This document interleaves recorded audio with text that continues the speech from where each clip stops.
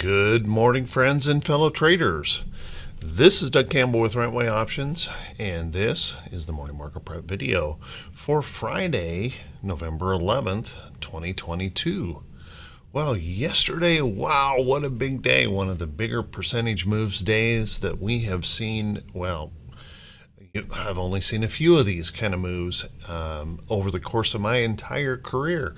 So, what does that mean for today? Well, how about we settle in? Let's buckle up. Let's get ready for the Friday edition of the Morning Market Prep video.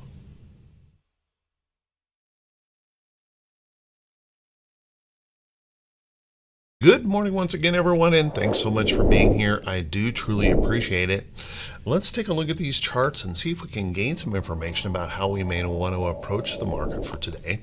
And one of the things I'm going to say is uh, today I decided I'm not going to do a blog. What I'm going to do is I'm going to spend that extra time with a little bit more time in the video so that I can and try to get this video out early enough that you can utilize the whole thing with just some thoughts because markets like this create an awful lot of emotion and can many times also create an awful lot of mistakes. So let's take a look at these charts first and see if we can figure out how we may want to approach the market for today, and then we'll get into some of those other things. First off, if we take a look here, we have certainly had an amazing rally to the upside, just tremendous moves here in the market and you'll want to notice that we broke that downtrend here in the Dow. Now we still have a situation here in the chart where we are running into a significant price resistance level in our chart here. I mean huge price resistance um, in this chart as you can see all of these data points right along that area. And we'll want to watch that pretty closely as we press up in the pre-market. We're getting a big pop here this morning, trying to continue that move to the upside as we have for quite some time, just pump and pump and pump in the pre-market.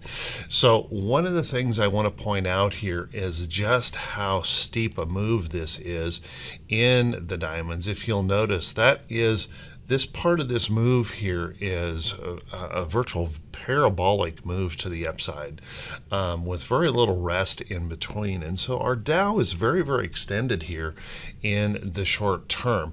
Now, that doesn't mean we can't continue to extend. I'm just pointing out the fact that it does increase the danger of a move. And we're going to talk about that here in a little bit.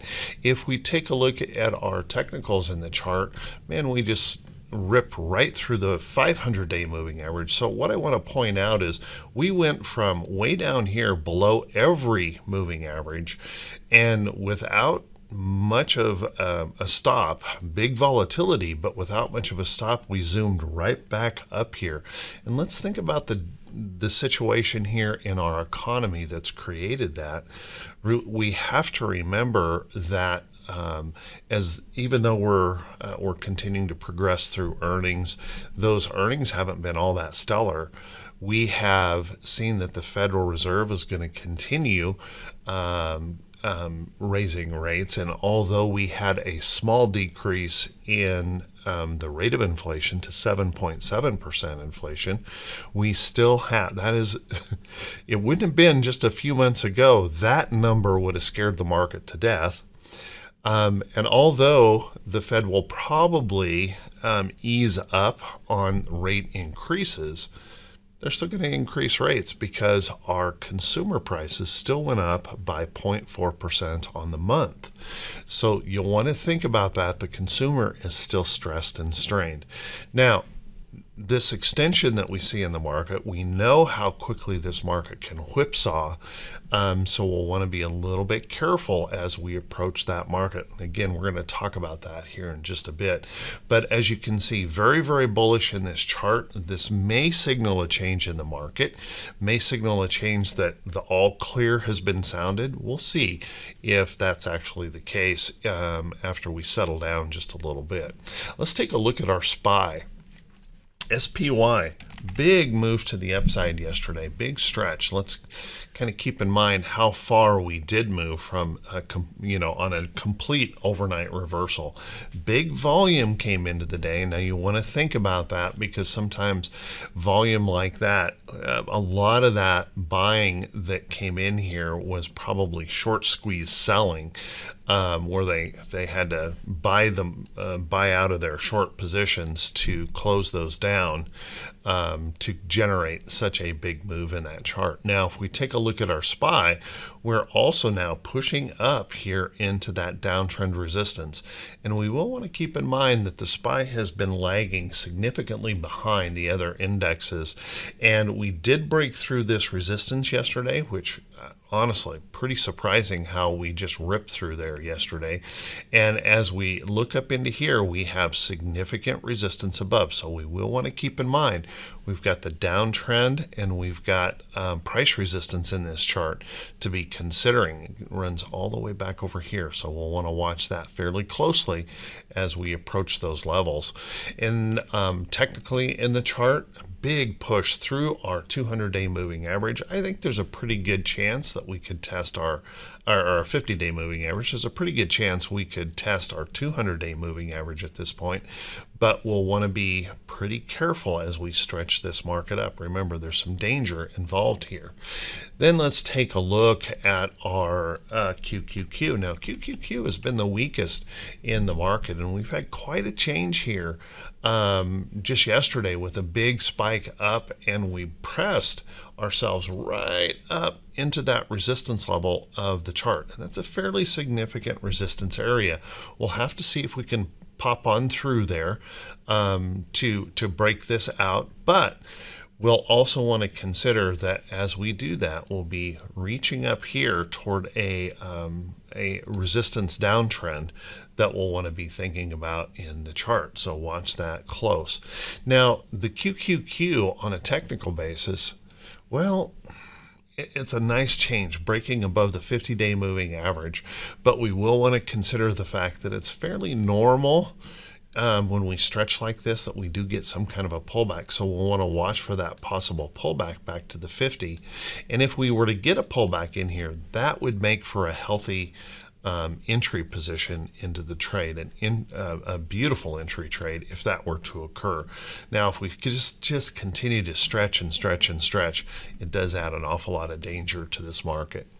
Let's take a look at our IWM. Our IWM stretched up as well yesterday with a big push here to the upside. We pressed into that resistance, and this morning we're trying to pop that resistance in the pre-market. And you can see that we've got significant resistance above. This would be a pretty substantial resistance level in the IWM. And if we run a trend out here, notice we'll be running into the downtrend and that price resistance area about the same time.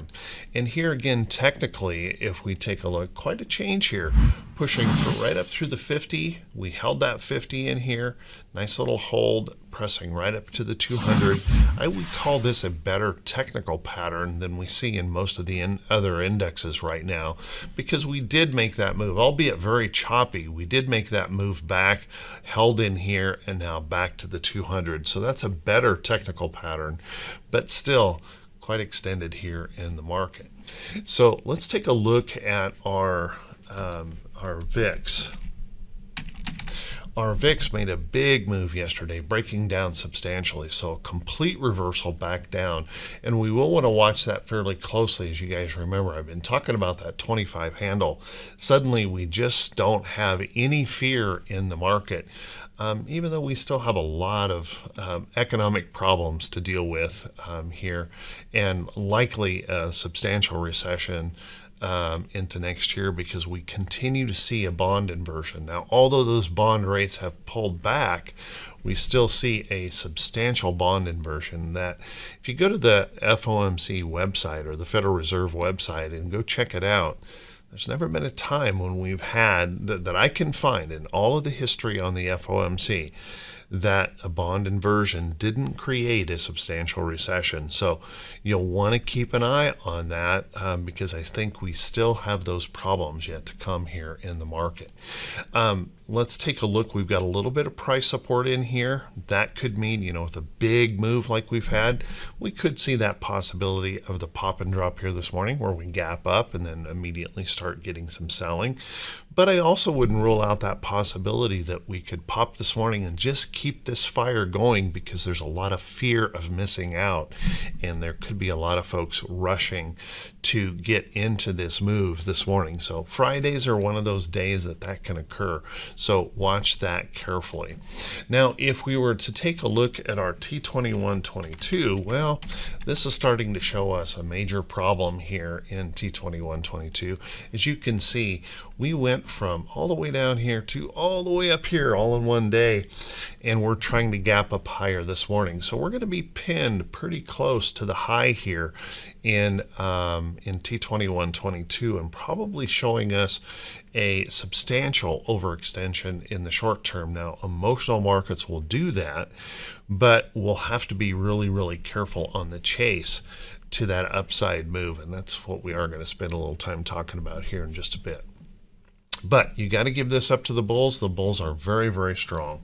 If we take a look at T2108, boy, T2108 really took off like a rocket yesterday and um, almost 75% of the stocks above their 40-day moving average. Now, we've done this once before. If you remember, um, early on, earlier on this year, we rallied all the way up here, and then bang, got that major reversal to the downside.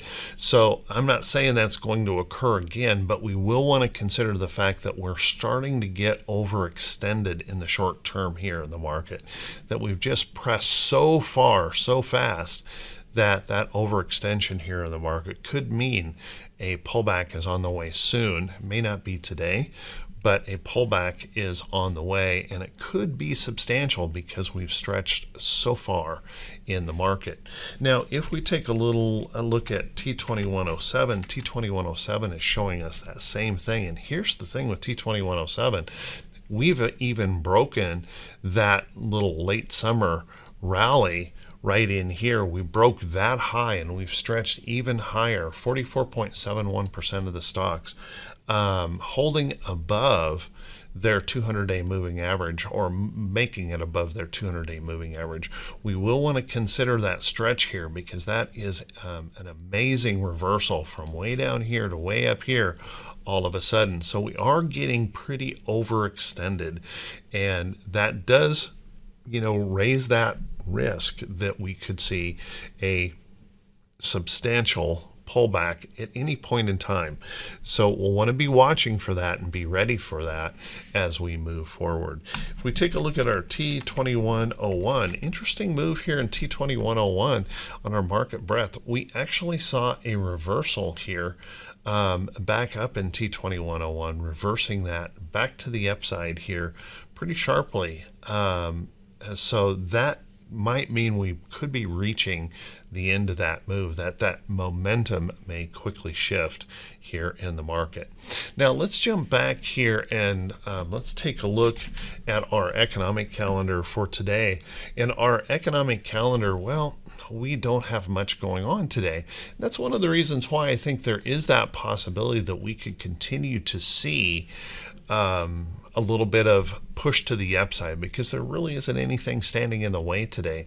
We'll have a consumer sentiment number. Um, consensus is ex expecting that number to be a little bit light, um, coming in a little bit under um, last time. But we've also had this amazing capacity here in the market to just kind of ignore it. Um, so watch that um, this this morning. Um, may not be a major impactor on the market at all. And then all we've, else we've got is the Baker Hughes rig count, which you know, I don't think uh, is going to make any difference at all in the market. And if we take a look at our earnings calendar, we have a lot of companies listed on the earnings calendar, but almost all of them are very, very small cap they're not going to be market moving at all. So, um, although there's probably 20, 25 companies that are confirmed to report, there's really not much in there for us to um, to worry about. I only pulled out two stocks as potentially notable, um, and they're really not all that notable. AQN will be reporting today, so we've got a utility in here reporting there's actually another couple other utilities, but they're very, very small cap um, type stocks. So keep an eye on AQN. And then SPB would be another that you might want to keep an eye on. It's been rallying up toward that downtrend resistance. Um, so watch that this morning for that report. That's about all on the earnings um, earnings calendar this morning. Let's take a look at some stocks that could be setting up. But before we do that, guys, if you could do me that quick favor, if this is the first time you've seen these videos, if you could please click that subscribe button on YouTube and also click that bell icon when it pops up so you'll be notified every time I post a video. And if you find these videos to be useful or helpful, if you could please do me that favor and please click that thumbs up button, leave a brief comment. That helps the channel to continue to grow. Thank you so much for everyone who's going going through it, clicking the thumbs up button on other folks' comment. It's that engagement that makes a difference, and I really appreciate it. And if you guys feel this video is, is worthy enough, please share it out there on your um, social media feed. It helps other people find it, and I truly appreciate it um, for every little bit of support that you guys give the channel. Thank you much. Now, let's um, take a look here at um, some of these stocks. And remember, guys, these are not recommendations to buy or sell any security. And you'll want to keep in mind that we have to be really, really careful here with this extension to the upside because there could be um, a substantial pullback on the way. Now, what I wanted to chat about here this morning and, and, extend this video out just a little bit, I hope you guys don't mind to indulge me here, but one of the things we have to think about in the market is to remember that it really doesn't matter what we feel about the market. It matters what the price action is telling us. Now, the price action is certainly telling us that something has changed here, that we are bullish. So, if you've been a bear for a long period of time, well, we may have to start shifting that attitude to the bullish side here if we're truly going to break these downtrends and, and hold some higher lows. But having said that, I want to let, uh, pass on the fact that um, the fear of missing out is a very strong emotion. And one of the things that um, I see a lot of folks make a mistake on is they rush to a trade because they're just so fearful of missing out in a position. And we have to think very carefully about what we can actually control in the market. We know this market has the capacity of very big point moves and very big point whipsaws.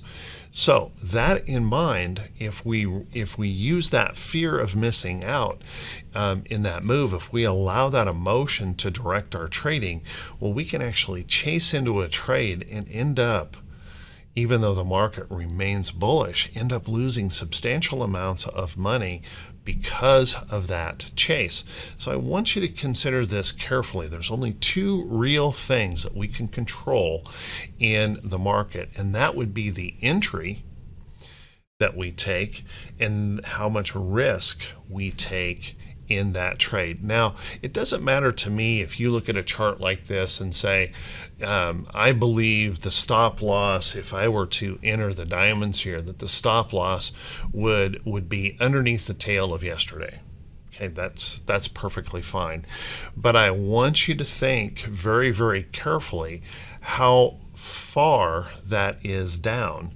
Um, we're talking about at this point over 1,400 points in the Dow down to that price support in the chart. So you have to consider that is a huge percentage move back down. If I were to pick this up right in here on the diamonds, um, that pop-up area and move just down into here, you have to be thinking about that substantial pullback in here that could be 15, 1600 points, and can you actually withstand that? So, if we're looking at trades for an entry, we want to make sure that we're taking trades that have low risk entry points into the trade. So that's one of the ways we can um, remove that emotion, that fear of missing out as we plan our entry into the trades. Now for me, the my stop loss has to be down here. So this is just a ridiculous um, um, stop loss uh, down in here. That's my last swing low. That's where I see the buyers have actually stepped into a trade in that reversal back to the upside. So there's no way that I could trade the diamonds here because I can't control uh, my risk to any logical risk point in the market. And if you think about these gaps that we've seen in the market, we've had a tendency of, of filling those eventually. So um, that's the stop loss I would have to take in that trade. And if you choose to take a stop loss that's just arbitrary, you just pick at something, well, I'm going to buy this trade, but I'm going to put the, my stop loss right in here you're likely putting yourself in a situation, if you're not respecting the price action of the chart, you're likely putting yourself in a situation where you're going to just get stopped out. Um, lots of whipsaw in this market. We have to remember that you know, when we move in these big point moves, that we can go the other way just as fast. So make sure you're planning your trades very, very carefully. Now, having said that, what I want to look for when I'm looking for a trade is I want to look for those stocks that have relatively low risk entry to my stop loss. You know, uh, what I mean by that is I can plan that trade carefully enough that there's not a whole lot of additional risk in jumping into a position. So let's take, for example, like a KHC. Now KHC is setting up in a interesting pattern. Notice we've got this nice little cup type pattern, a little handle out here in this trade, and we are struggling with this price resistance in the chart. But what I have here is a nice little platform position in here where I really wouldn't have to take an awful lot of risk to jump into a trade like this, but I'd wait for the buy signal to occur. One of the things that I like to do is I like to look for charts that are setting up. I don't want to chase the big white candle. And that's one of the things I'm seeing a lot when I'm working with people in coaching.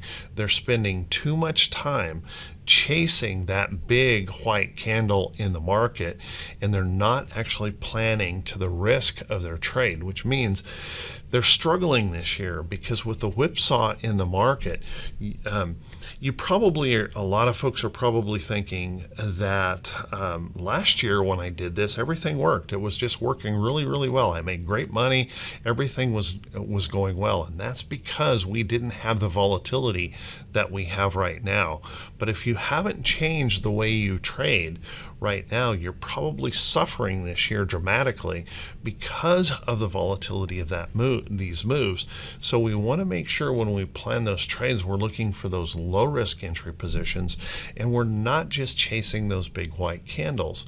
So take for example a stock like Caterpillar. Caterpillar is on a major tear to the upside, but if we really take a look at that chart, what we can see here is an incredible amount of long side danger running into this chart. Sure, we could pop through that, we could pop through it temporarily, but the high probability is Caterpillar is going to pull back. And it's going to pull back substantially because this is a straight up parabolic move in the chart. And if it doesn't just collapse back down, which I wouldn't say suggest that it would, it could go into a very long, wide-ranging chopping situation in the market, which makes it very, very difficult. Now, particularly if you're trading options, this can be a very, very dangerous position to jump into because what happens when we explode in a move like this is the um, implied volatility of an option, of all options, go up. So our implied volatility goes up. And we want to think about that as an option trader. If that implied volatility shoots up, what that means is that the extrinsic value of our options, that's the time value of our options, explodes as well. So we can be in a position that looks really, really good, very, very bullish And you've probably experienced some of this recently where you've entered long positions or short positions in the market, thought you had a great trade setup, and then just found that it had a difficult time in making that trade pay. And one of the reasons that can be is that implied volatility is so high. And if we get another explosion in volatility, well, that just adds more cost to every single trade that you make. And then if that volatility starts to pull back a little bit, if we rest, if we consolidate, all of a sudden, you may still have the overall direction correct, and lose money on the trade because of that explosion in implied volatility. And yesterday was an extreme explosion in implied volatility. For so for you option traders out there, I would be really really careful as we continue to stretch to the upside. What that means is the time value of those options has become very very expensive. And even if we get just a rest, if we don't pull back, not saying you know if if we don't collapse to the to the upside and just rest um, in the market, you can still lose a substantial amount of money in those options because that implied volatility then contracts, comes more back to normal, and that um, that time value drops out of those options really quickly. So I want to caution everyone to be really, really careful in your option purchases, particularly on directional long call and put trades. Now, for the stock trader in here, there's also that major risk that you take in a trade like this that if we do pull back substantially um, in that, there's certainly an easy opportunity for a substantial pullback in a stock like this. And um, that could be very painful as well if you chase into a trade. So, what we want to do is we want to be looking for those stocks that are giving us low risk entry trades, and we want to be looking for technically correct patterns. I'm going to go to the QQQ here to just give you an example of what I mean by a technically correct pattern. One of the things that I look for in a chart is support resistance, and trend. So if we take a look here and notice that we were in a downtrend and suddenly we whipped back up. Now we want to consider here carefully that we broke that downtrend and that's a great thing to see in the market and we're approaching a major resistance area in the chart. Now that puts me at a danger place. And one of the major problems that I had in my trading, one of the major mistakes I made too many times, is I would chase that big white candle and I tended to buy stocks on that chase right near price resistance levels in the chart. Now, what that, and, and this just can't even be a surprise because I would look back at trades and go, what was I thinking? Because could you be at all surprised if QQQ either has to pull back from here or go through a longer consolidation here to rest through that place in the chart? Um, that really couldn't even be a major surprise in that position. So a technically correct pattern requires that when we break a downtrend, when we move up like this that we actually can prove that we're going to hold and not just turn around and whipsaw all the way back down. Because think about the point move that we had in here.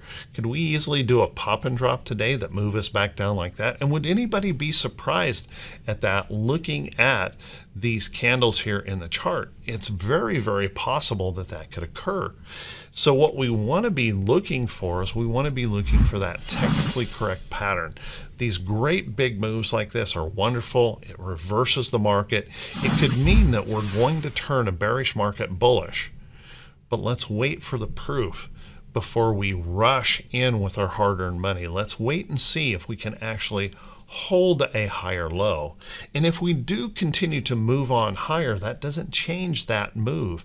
If we break through this resistance and push on up, let's wait and see if we can now hold that new area of support before we run headlong into the market. Because if we get this would give us a lower risk entry trade. Our stop loss would be closer in the move. And as a matter of fact that first higher low is what actually creates the uptrend. So think about that. We're really not missing out until we can actually prove higher levels of support in the chart.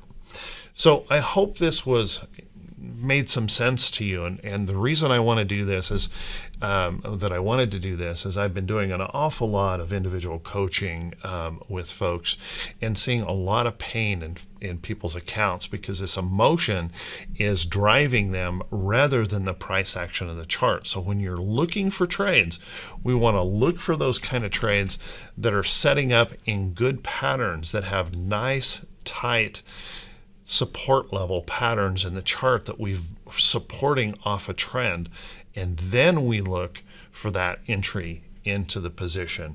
We don't want to chase that big stretched out candle because it puts an awful lot of risk on our trades and we want to avoid that fear of missing out, that emotional trading. Let's do a little more thought thinking, let's do a little bit more planning. Let's think about how much risk we have to our stop.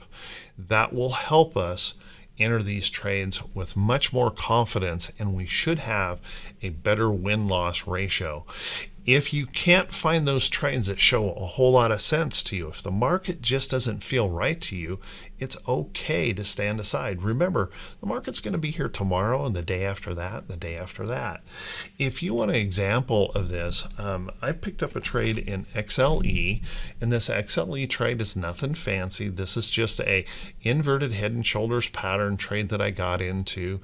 Um, at the close of today, or close of yesterday, I'm up 67% in this trade. And as a matter of fact, I've already taken half the profit off and over 70% profit on the trade. So what that means is is we don't have to have a trade every single day, but if we work carefully to pick the right trades, we can actually trade less and make more money. So think about that carefully instead of just rushing and throwing your money at the market. Let's be a little bit more selective and think carefully about the entry of the trade and how we can manage that trade. And maybe we could trade less and make more money if we're not in such a big rush to throw risk at this at the market. So think about that. Um, I want to wish you guys all a fantastic day. I want to wish you great results in your trading.